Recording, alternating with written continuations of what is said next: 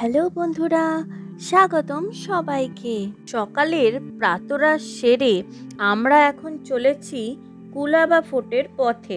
আজ আলিবাগে আমাদের তৃতীয় দিন। অটোতে চেপে আমরা চলে এসেছি আলিবাগ বিচে। আপনারা যারা বকখালি বেড়াতে গেছেন, তারা নিশ্চয়ই এটা দেখেছেন যে বকখালিতে সমুদ্রের জলের পরিসর জোয়ার ভাটার ওপর ভীষণভাবে নির্ভর করে। এখানেও ঠিক সেই রকম। এই যে সমুদ্রের মাঝে যে বালির চর দেখছেন, এখন আমরা এই চরের ওপর দিয়েই হেঁটে চলেছি। এই চরটিও কিছুক্ষণ পরে আর থাকবে না। তলিয়ে যাবে সমুদ্রের জলের তলায়। ওই যে দূরে দুর্গটা দেখা যাচ্ছে, ওটাই কুলাবা ফোর্ট। এখন ভাটার সময়। তাই এই সময়ে পায়ে হেঁটে সমুদ্র পেরিয়ে কুলাবা ফোর্টে যাওয়া এবং ফিরে আসা যায়, যদিও অনেকে ঘোড়ার গাড়ি করেও যাতায়াত করেন। আর যখন জোয়ার আসে, তখন মোটর চালিত বোটে চেপে কুলাবা ফোর্ট থেকে আলিবাগ আলিবাগ থেকে কুলাবা ফোর্ট যাতায়াত করতে হয়। আমরা আলিবাগ বিচে পৌঁছে দেখি ভাটা চলছে। তাই আমরা সিদ্ধান্ত নিলাম সমুদ্রে হেঁটেই কুলাবা দুর্গে যাব। অনেকেই বিচ থেকে দুর্গ হেঁটেই যাচ্ছে, আবার হেঁটেই ফিরছে। কিন্তু হলো কি? সমুদ্রে আমরা যখন হাঁটতে শুরু করলাম, তখন আমাদের পায়ের পাতাটুকুই জলের তলায় ছিল। এবার হাঁটতে হাঁটতে ক্রমশই অনুভব করলাম যে জলের স্তর কোমরের ওপরে উঠছে। তাই আমরা আর রিক্স নিইনি। আমরা আবার আলিবাগ বিচেই ফিরলাম, সমুদ্রের মধ্যে ওই এক কোমর জল নিয়ে হেঁটে। আর আলিবাগ বিচে ফিরে তারপর আবার মোটর চালিত বোটে চেপে আবার কুলাবার দিকে, অর্থাৎ কুলাবা দুর্গের পথে আবার রওনা দিলাম। সমুদ্রে জোয়ার এসে গেছে, তাই এই মোটর চালিত বোটগুলি চলাও শুরু করে দিয়েছে। তবে এটাও দেখলাম যে কোনো মানুষ যদি মাঝ সমুদ্রে এক কোমরের বেশি জলেও দাঁড়িয়ে থাকে বা আটকা পড়ে যায়, তাহলেও সমুদ্রে ভাসমান নৌকাগুলিতে তাকে তোলা হয় না। নৌকার চালক বলেন, এইভাবে মাঝ সমুদ্রে তিনি যাত্রী তুলতে পারবেন না এবং বলেন তাকে আলিবাগ বিচে ফিরে গিয়ে বোটে ওঠার টিকিট কেটে তবে বোটে চড়তে হবে।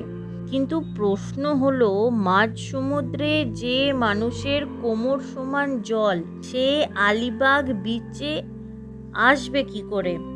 হ্যাঁ যদি সাঁতার জানা থাকে তাহলে ঠিক আছে, আর যদি না জানা থাকে তাহলে তো তাকে হেঁটেই ফিরতে হবে। এবার মাঝ সমুদ্র থেকে আলিবাগ বিচে ফেরার যে রাস্তা, সেই সেই রাস্তায় জলের স্তরও কিন্তু আরও অনেকটা বেড়ে যাবে। তখন এটা কিন্তু একটা খুবই রিক্সের ব্যাপার। আমরা পৌঁছে গেছি কুলাবা ফোর্টের দ্বীপে। এই হলো দুর্গের প্রবেশদ্বার।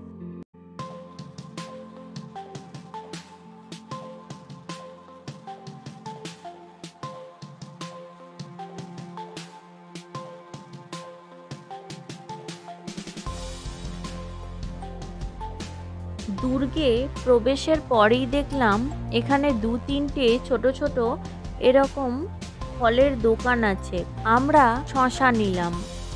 কুলাবা নামের সঠিক উৎপত্তি স্পষ্টভাবে বলা যায় না। কেউ বলেন কোলভান বা কোলভাত থেকে উদ্ভূত শব্দ কুলাবা কিংবা কালাবেহ থেকে কুলাবা শব্দটি এসেছে। কালাবেহ শব্দের অর্থ হল সমুদ্রের মধ্যে প্রকাশিত ভূমির ঘাড়। এই দুর্গের মধ্যে যেমন রয়েছে মন্দির, ঠিক তেমনই রয়েছে হাজি কামাল উদ্দিন শাহের দরগা এই দুর্গের গড় উচ্চতা পঁচিশ ফুট। এই দুর্গের দুটি প্রধান প্রবেশদ্বার রয়েছে। এই দুর্গের সাথেও মিশে আছে কিছু ইতিহাসের পাতা। কুলাবা দুর্গের প্রথম উল্লেখযোগ্য ঘটনা হল, সমগ্র দক্ষিণ কোঙ্কণ মুক্ত হওয়ার পর শিবাজি এই দুর্গকে তার নৌসেনার জন্য মনোনীত করেছিলেন।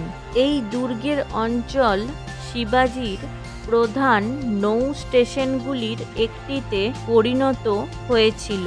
ছত্রপতি শিবাজির পরলোক গমনের পর তার পুত্র ছত্রপতি সম্ভাজি রাজে ষোলোশো একাশি সালে জুন মাসে এই দুর্গের মেরামতির বাকি কাজ সম্পন্ন করেছিলেন।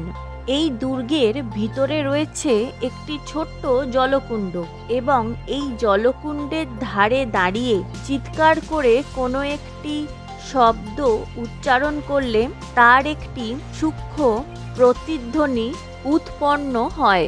তাই আমিও একটু চিৎকার করলাম।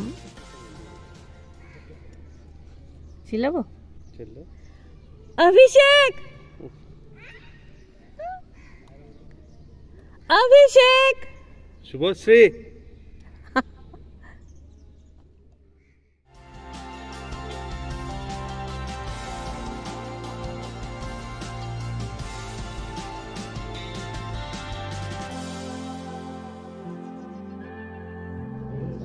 हम्म।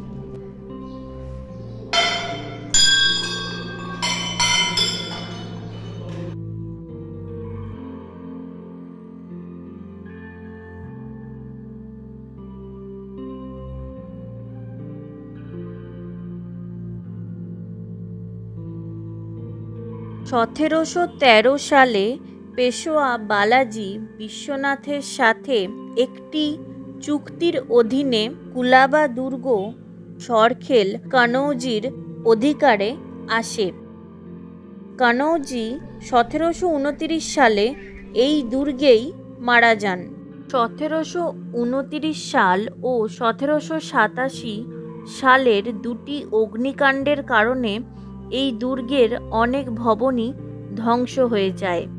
পরে আঠেরোশো বিয়াল্লিশ সালে ইংরেজ সরকার নিলামের মাধ্যমে দুর্গের অবশিষ্ট পাথর ও কাঠের কাঠামো আলিবাগ অঞ্চলে বিক্রি করে দেয়।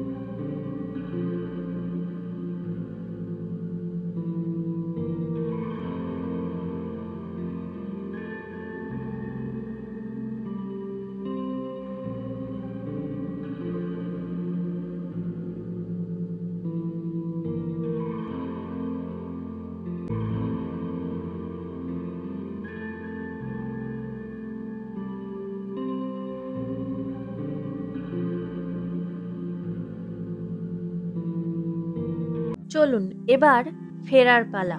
আমাদের আবার যেতে হবে আলিবাগ বিচে তবে হ্যাঁ যারা বোটে করে বিচ থেকে দুর্গের দ্বীপে এসেছিলেন, শুধুমাত্র তারাই নৌকায় চেপে আবার আলিবাগ বিচে ফিরতে পারবেন। আসা যাওয়ার মাথাপিছু দুশো টাকার টিকিট যে যে যাত্রীদের কাছে আছে, তারাই বোটে উঠতে পারবেন। আমরা আবার নৌকায় উঠে পড়েছি।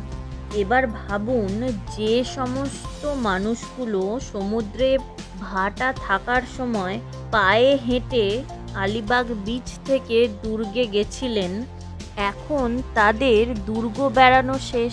কিন্তু এখন সমুদ্রে জোয়ার এসেছে। তাই আর তো পায়ে হেঁটে সমুদ্র দিয়ে যাওয়া সম্ভব নয়। কিন্তু যেহেতু তারা দুর্গের দ্বীপে হেঁটে এসেছিলেন, সেই জন্য তাদের কাছে কোনো বোটের টিকিটও নেই। তাই এখন কোনো বোটেই তারা চেপে আলিবাগ বিচে ফিরতে পারছেন না। এবার যতক্ষণ না পর্যন্ত জোয়ার সরে গিয়ে আবার সমুদ্রে ভাটা আসছে। ততক্ষণ পর্যন্ত কিন্তু তাদের কুলাবা দুর্গের দ্বীপেই থাকতে হবে। এবার কথা হচ্ছে, আমরা যখন সকালে আলিবাগ বিচে এসে পৌঁছালাম, তখন তো ভাটা চলছিল। যে কারণে আমরা ভেবেছিলাম যে আমরাও বিচ থেকে দুর্গ দ্বীপ পর্যন্ত হেঁটেই যাব। কিন্তু জোয়ার আসার জন্য আমাদের সেটা ক্যান্সেল হয়েছে। আমরা আবার আলিবাগ বিচে ফিরে বোটে করে দুর্গের বিচে গেছি। কিন্তু আমরা যখন সিদ্ধান্ত নিয়েছিলাম প্রথমে যে আমরা হেঁটেই যাব, ভাটা চলছে বলে, তখন কিন্তু আমি আর অভিষেক এই বোটের পরিষেবা যারা দেন, তাদের কাছে গিয়ে কিন্তু প্রশ্ন করেছিলাম যে, আমরা এখন তো ভাটা চলছে, আমরা হেঁটে যাচ্ছি।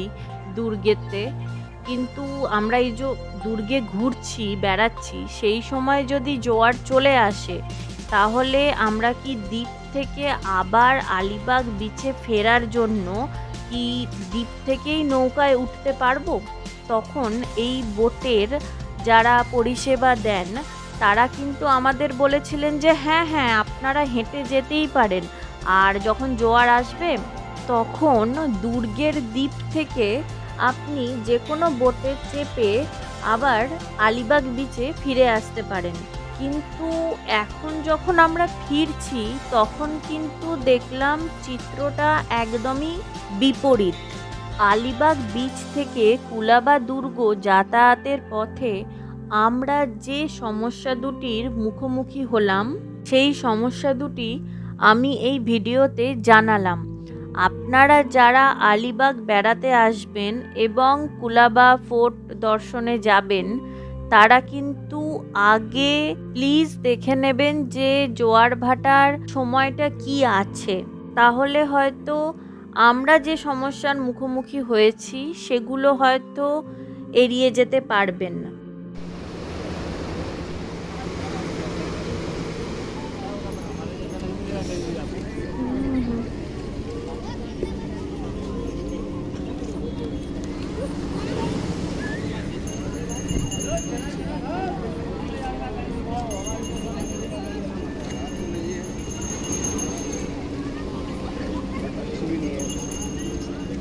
এই ভিডিওটা এখানেই শেষ করছি।